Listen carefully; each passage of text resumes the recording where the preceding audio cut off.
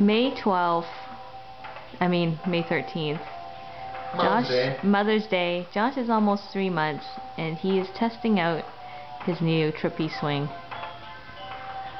His auntie Poopsie is here, It's really trippy. and his daddy.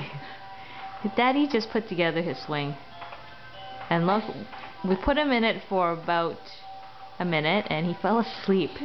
We should have gotten this right when he was born. I feel like I'm on hallucinations.